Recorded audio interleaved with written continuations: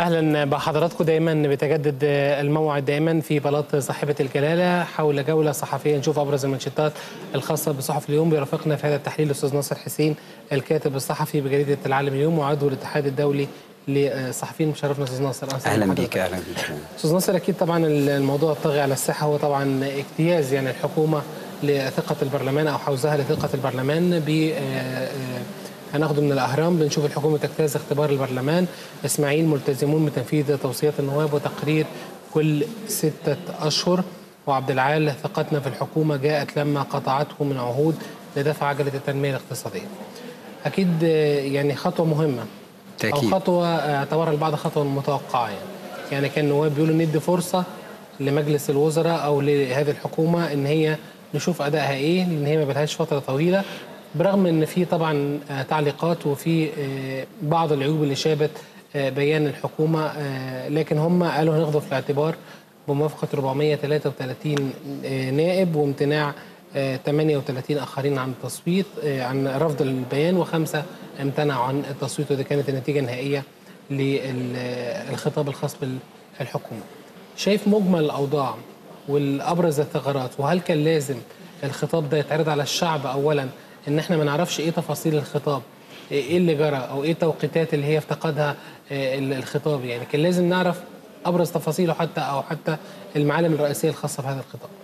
هو بالطبع يعني بيان الحكومة عليه كثير من الملاحظات ودار جدل كثير من الخلاف حوله حول منح الثقة أم لا. وصراحة يعني معظم نواب البرلمان لم يريدوا أن يكون هناك أزمة في عدم منح الثقة أن الدستور ممكن بيعطي حق طرح الثقة أو منح الثقة. لكن على اعتبار أن هذه البرلمان لأول مرة يعرض عليه بيان الحكومة ودار في مناقشات كثيرة.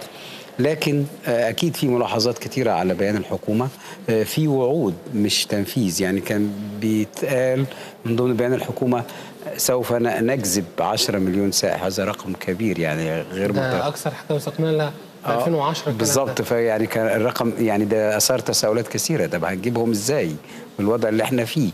في وعود كثيرة. لكن هو يعني ما اتفق عليه في البرلمان إن إحنا نعطي فرصة للحكومة لتنفيذ وعود قطعتها على نفسها.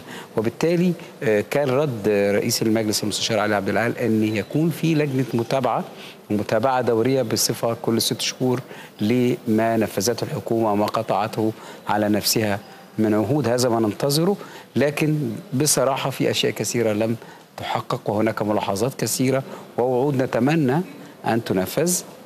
يعني الفلسفة كانت أنت وعدت بكذا طب خلاص أنا هديك الفرصة وأشوف سوف تعد بذلك أم لا. لدينا مشاكل كثيرة في قطاع الصحة في قطاع التعليم في موضوع الركود في السياحة الدولار الدولار بالظبط يعني ما شاء الله المشاكل مفيش أكتر من متلاحقة يعني. فحتى بعض الصحفيين كان كتب قال أن الرئيس السيسي بيسير بطائرة أو بصاروخ في إنجازاته لكن الحكومة بطيئة جدا في المقابل. وبالتالي يجب أن تسرع الحكومة من خطواتها بما يواكب أهداف وطموحات الشعب المصري والقائد الرئيس عبد الفتاح السيسي. أستاذ ناصر السؤال بس اللي بيطرح نفسه يعني الشعب ما عندوش خلفية عن البيان يعني ما ما ما كانش في ملامح اتعرضت يعني. إحنا كل اللي سمعناه أو حتى المتخصصين أبرز المتخصصين كل سمعوا إن الموضوع بيفتقد للتوقيتات دي حكومة الإقراض. يعني المواضيع فضفاضة موضوع عام عامة. كان لازم يطلع البيان أو ينشر بشكل مفصل الناس تقراه وتدي رأيها ولا كان الاكتفاء بنواب البرلمان فقط؟ يعني كان لازم برضه الناس لا لا طبعا. هو المفروض إن يبقى في عرض مجتمعي لهذا البيان إن هو ده بيان يخص الشعب. وكان المفروض يبقى في طبعا دور لوسائل الإعلام والصحافة في إبراز هذا البيان لكن المعلومات المتاحة حتى للصحافة والإعلام لم تكن مناسبة أو كافية. يعني كان المفروض تديني كل المعلومات كل النقاط وتشرح ويخرج المسؤولين على وسائل الإعلام للناس ويشرحوا لهم نقطة نقطة لدينا مشاكل بالفعل. يعني المواطن يلمسها كالنار التي يعني ت- تسخن جلده أو يشعر بها. آه، اولا في موضوع أزمة الدولار أزمة حادة جدا وارتفاعه بطريق غير 11 ونص؟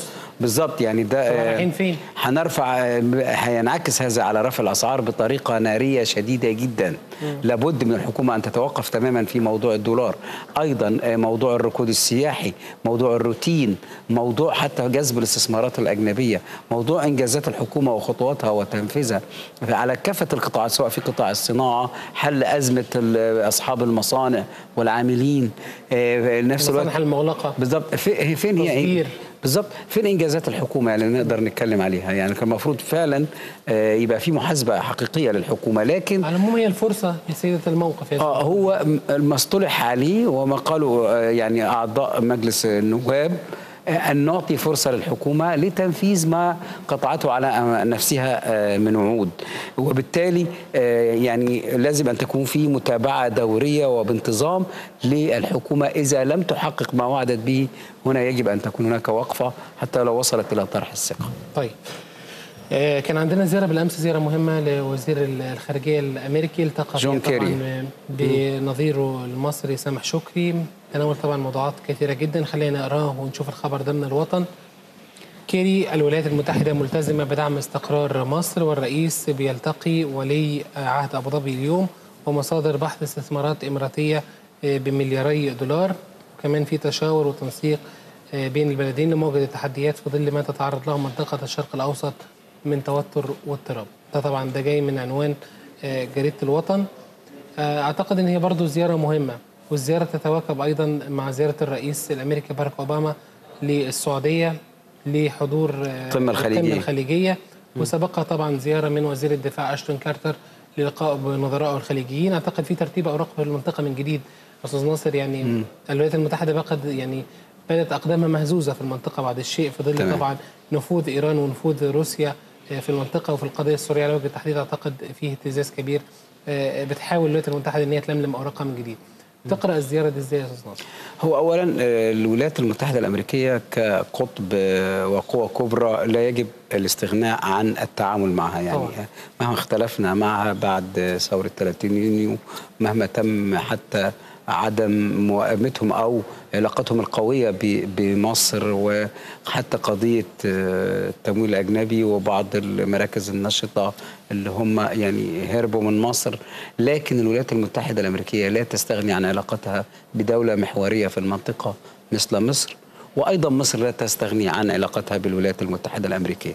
خلينا نبقى واضحين. واضحين طبعا. آه يعني ما فيش حاجة اسمها قطع العلاقة أو الجمود. لا هي ال- مصالح متبادلة. مت- مصالح متبادلة. مصالح متبادلة مفيش. كلام يعني. يعني أنا ألاحظ إن بعد ما إحنا عملنا قناة السويس الجديدة آه، جالنا 150 آه، رجل أعمال أمريكي من كبار أصحاب الشركات العالمية الأمريكية الكبرى لأن هم عرفوا إن مصر يديها على محور استراتيجي هو قناة السويس. الحاجة الثانية لا يمكن للولايات المتحدة الأمريكية أن تستغني عن مصالحها في المنطقة وبالتالي العلاقة اصابها بعد التشوش. زي ما حضرتك قلت آه، اولا العلاقة مع إيران ابتدت تتصلح شوية لكن لا زالت في خلافات. امبارح في المحكمة الأمريكية العليا آه، بتفرض غرامة على آه، إيران بسبب تورطها في عمليات إرهابية من عام 83 يعني هم بيفتشوا في الأوراق القديمة. في نفس الوقت ال- الوضع في سوريا وتحكم روسيا في الوضع في سوريا خلى الولايات المتحدة الأمريكية تلجأ للتفاوض مع روسيا ووصول للحل في لكن مصر كدولة قائدة في الدول العربية مصر موجودة في المنطقة بالتالي لازم يكون في علاقة صلة سياسية موجودة بين البلدين وبالتالي هو جون كيري جه وقابل آه، وزير الخارجية وقابل الرئيس السيسي كمان. وبالتالي ده ده بيتواكب فعلا مع آه، حضور أوباما للقمة الخليجية. لا يمكن للولايات المتحدة الأمريكية أن تستغني عن العرب. العرب هم من ينتجون البترول. العرب هم من يتواجدون في وسط العالم.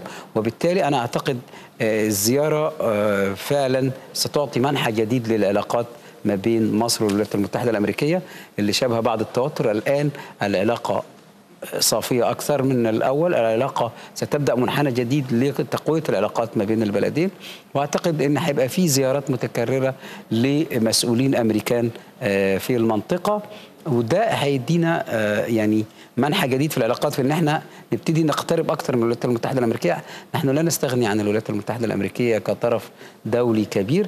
ولكن آه، مصر دايما وده بعد ثورة 30 يونيو بقى فيه في السيادة دولة ذات سيادة اتعلمنا إن إحنا نقول لأ ما يبقاش في تبعية زي ما كان في الماضي مصر فعلا آه، بتعترض على بعض قرارات الولايات المتحدة الأمريكية إحنا. يعني بننحاز